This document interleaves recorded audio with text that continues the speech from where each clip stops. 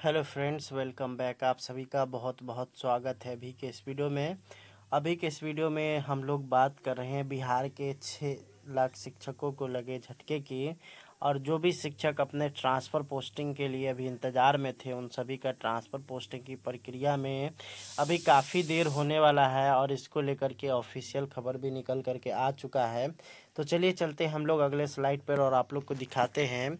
तो ये आप लोग जो देख रहे हैं शिक्षकों के स्थानांतरण में अभी देर, पटना हिंदुस्तान ब्यूरो, शिक्षकों के स्थानांतरण पदस्थापन के साथ ही अनुकंपा पर नियुक्ति की नीति बनाने को लेकर के 2 जुलाई 2024 को शिक्षा विभाग ने कमेटी गठित की थी। कमेटी गठन को लेकर के जारी पत्र में कहा गया था कि पंद्रह दिनों में यह अपनी रिपोर्ट देगी, जिसके आधार पर विभाग निर्णय लेगा। ढाई महीने बाद भी कमेटी की रिपोर्ट को अंतिम रूप नहीं दिया जा सका है। इससे साफ़ है कि शिक्षकों के स्थानांतरण और अनुकंपा पर मृत शिक्षकों के आश्रितों की नियुक्ति में अभी देरी होगी। विभाग के सचिव बैद्यनाथ यादव की अध्यक्षता में यह कमेटी गठित की गई। गठित की है। इसमें माध्यमिक और प्राथमिक शिक्षा के निदेशक सदस्य हैं। ये दोनों निदेशक भी अब नए आ गए हैं। कमेटी की कई बार बैठक हो चुकी है। इसमें उक्त दोनों मामलों को लेकर नीति का एक प्रारूप तैयार कर लिया गया है। अभी संशोधन पर मंथन चल रहा है। यही वजह है कि अभी तक कमेटी के अंतिम नतीजे पर नहीं पहुँच सकी है। शिक्षक दिवस के दिन शिक्षा मंत्री सुनील कुमार ने घोषणा की थी कि शिक्षकों के स्थानांतरण के लिए उदार नीति तैयार की जा रही है। इस संबंध में विभागीय पदाधिकारी बताते हैं कि एक बार नए सिरे से स्थानांतरण नीति को अंतिम रूप देने पर तेज़ी से कार्रवाई शुरू हुई है। इसके बाद विभागीय प्रमुख और मंत्री के अनुमोदन के बाद नीति पर कैबिनेट स्वीकृति ली जाएगी। इसके बाद ही नीति के आधार पर शिक्षकों का पदस्थापन और स्थानांतरण होगा। साथ ही अनुकंपा पर मृत शिक्षकों की नियुक्ति का रास्ता भी साफ़ होगा। तो यहाँ पे आप लोग देख सकते हैं इसका मुख्य हेडलाइन क्या है।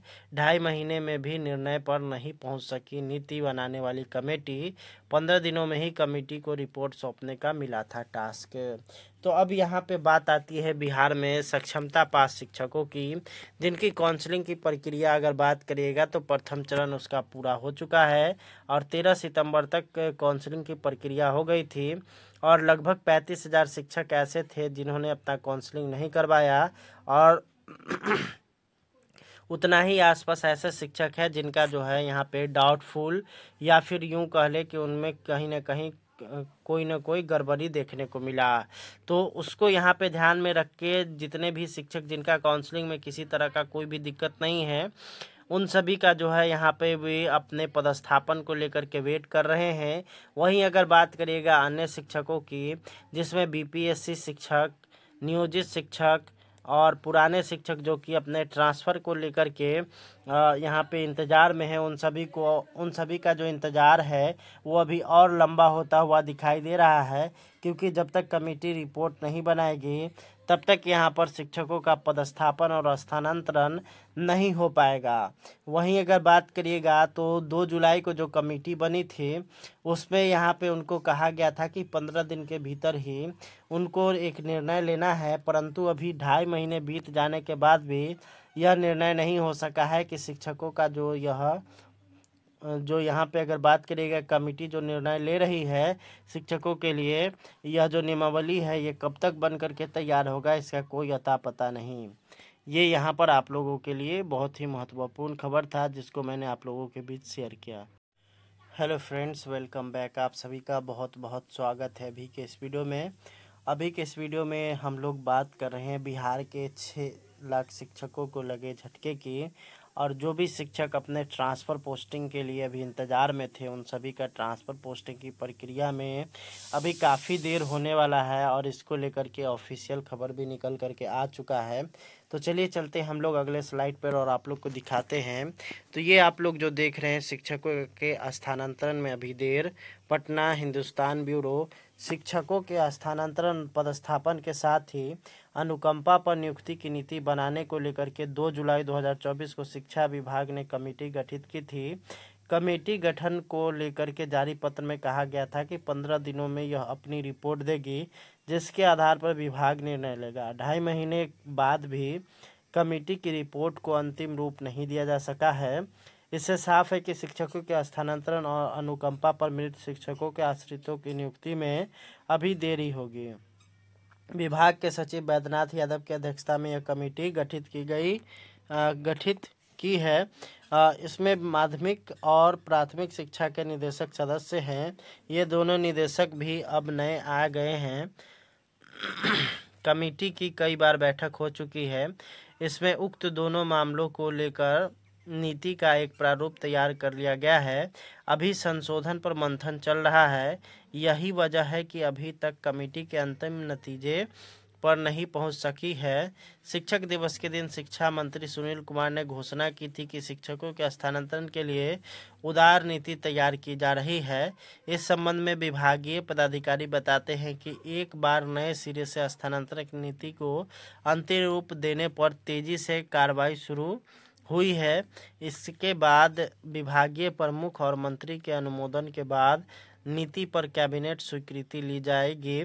इसके बाद ही नीति के आधार पर शिक्षकों का पदस्थापन और स्थानांतरण होगा। साथ ही अनुकंपा पर मृत शिक्षकों की नियुक्ति का रास्ता भी साफ़ होगा। तो यहाँ पे आप लोग देख सकते हैं, इसका मुख्य हेडलाइन क्या है? ढाई महीने में भी निर्णय पर नहीं पहुँच सकी नीति बनाने वाली कमेटी। पंद्रह दिनों में ही कमेटी को रिपोर्ट सौंपने का मिला था टास्क। तो अब यहाँ पे बात आती है बिहार में सक्षमता पास शिक्षकों की, जिनकी काउंसलिंग की प्रक्रिया अगर बात करिएगा तो प्रथम चरण उसका पूरा हो चुका है और तेरह सितंबर तक काउंसलिंग की प्रक्रिया हो गई थी और लगभग पैंतीस हज़ार शिक्षक ऐसे थे जिन्होंने अपना काउंसलिंग नहीं करवाया और उतना ही आसपास ऐसे शिक्षक है जिनका जो है यहाँ पे डाउटफुल या फिर यूँ कह ले कि उनमें कहीं ना कहीं कोई ना कोई गड़बड़ी देखने को मिला। तो उसको यहाँ पे ध्यान में रख के जितने भी शिक्षक जिनका काउंसलिंग में किसी तरह का कोई भी दिक्कत नहीं है, उन सभी का जो है यहाँ पे वे अपने पदस्थापन को लेकर के वेट कर रहे हैं।